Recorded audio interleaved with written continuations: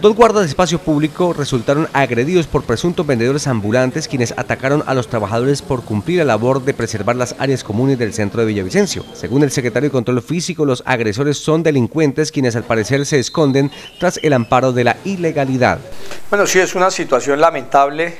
la que se nos viene presentando con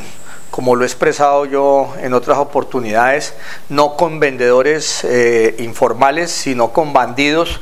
que arropados en la necesidad eh, de algunos vendedores que no se han formalizado eh, todavía,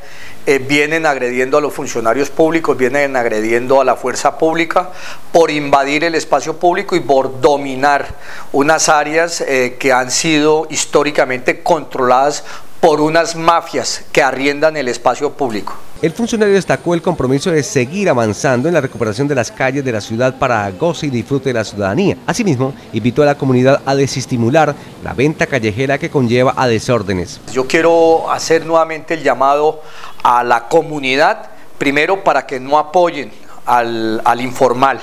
para que apoyen la legalidad y la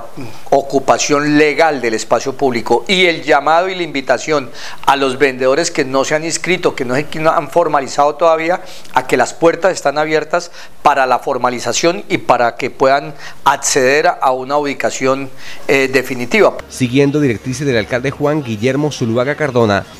la Secretaría de Espacio Público y Control Físico continúa desarrollando operativos diariamente para controlar la venta de productos de contrabando, piratería y de paso aislar a los grupos delincuenciales quienes aprovechan los tumultos de las ventas de los andenes para atracar a los ciudadanos.